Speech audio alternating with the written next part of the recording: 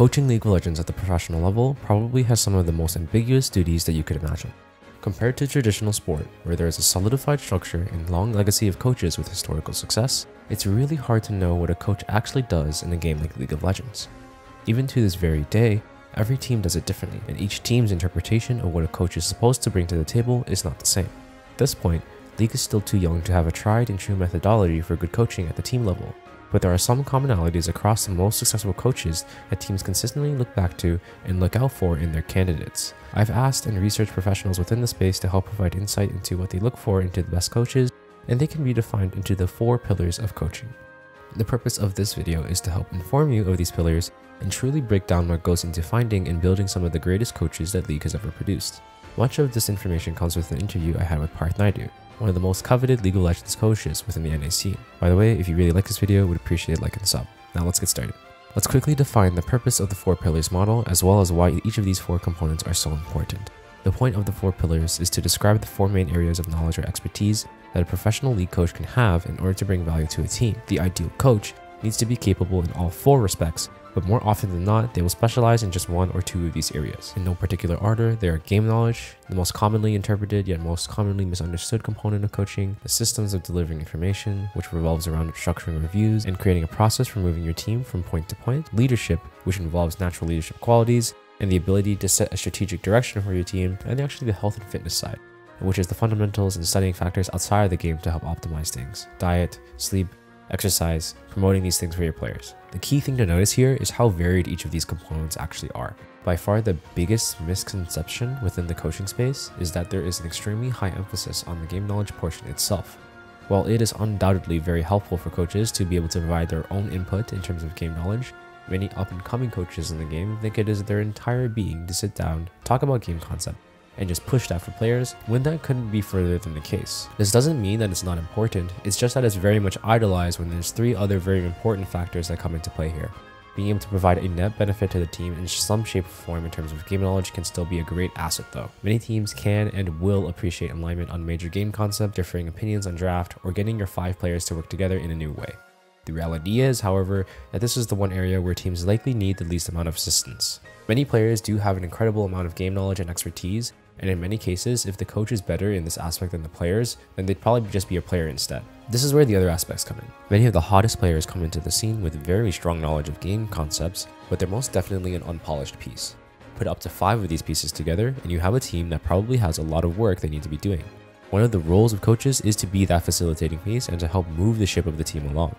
This is the idea of the systems pillar. Coaches need to be able to build a strong structure for their players so that they can make the most of their practice.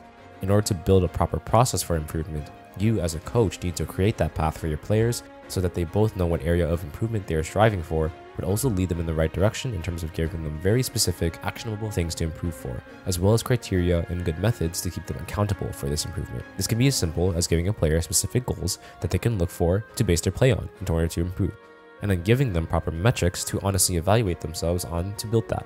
Here's a basic example. I want my jungle to communicate enemy pathing information ahead of an objective, and when they need resources at what time. To hold the jungler accountable for this, give them a metric such as make sure to speak about pathing goals or have a conversation about where to play on the map 90 seconds before it happens. Then, in review, you could check the VOD, see what the player actually said and thought about with their team, and then contrast that against the goal and identify any gaps there. From that point, you work on the major factors that contribute to those gaps and aim to reduce them.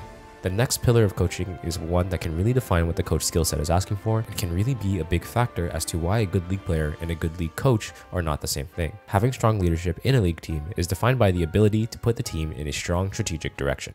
This portion technically has some flexibility because this is where typically coaches can vary in their value adds depending on their background. Some coaches have a great history in statistical data or model building and can be extremely insightful in terms of finding new tech or providing solid reasons to play a certain way. Other coaches might instead be extremely focused in the psychological aspects of things, or might be able to provide value in putting your five pieces together. The key thing to keep in mind in this case is to consistently bring on a positive impact to your team. By doing so, this also helps build rep among your team so that they can understand what you bring to the table. You really shouldn't overstep your boundaries, or else you'll potentially lose whatever value you had perceived to have brought on in the first place. Basically, if you aren't a health specialist, you shouldn't try to be one just because the concept of it might sound appealing to the team. Play to what makes you special as a coach, own it, and then fill the gaps with other individuals on your staff to round out your competitive program. The most surprising component that more and more teams are focusing on is the aspect of optimizing factors outside of playing the game itself. The reality is, becoming a top level performer in League Legends now requires you to think about unlocking your highest potential performance and revolving every part of your life around this. All of the other pillars, all of the time you spend practicing and honing yourself are not going to matter if you aren't mentally or physically in an appropriate state to improve. You, as a coach, need to instill these factors into your players, help them understand the benefits of this, and build strong, lasting habits into them so they can incorporate it into their lifestyle. As much as you can study and grind the game itself, there is an upper limit to how much you can really invest there before factors like burnout or literal injuries come into play. Many, many players in the field have had opportunities taken away from themselves because they were unable to build these habits in time. By giving players time to form these habits now, you not only form a method of sustainable, productive practice, but you're also setting them up for a potentially long career of success. These four components and areas of League of Legends coaching go very much hand in hand to create a cohesive and competitive program. Every one of these components contributes just as much as the last, and because of this, the best league coaches will be able to provide insights in pretty much all four areas. This could be through their own expertise, and this could be through the enlistment of others to help facilitate this. However, every top level team needs to find some way to have this happen. Hopefully this was an insightful video to y'all, and I'll catch you in the next one. Stay fresh.